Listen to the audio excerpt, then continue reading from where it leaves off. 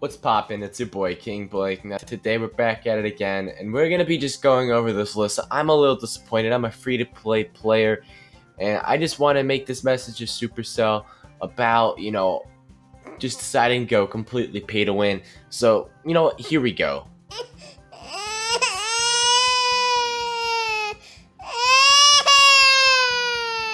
I think I made some pretty good points. What what do you guys think? Uh, you know, thank you guys for listening. I hope they take that into consideration.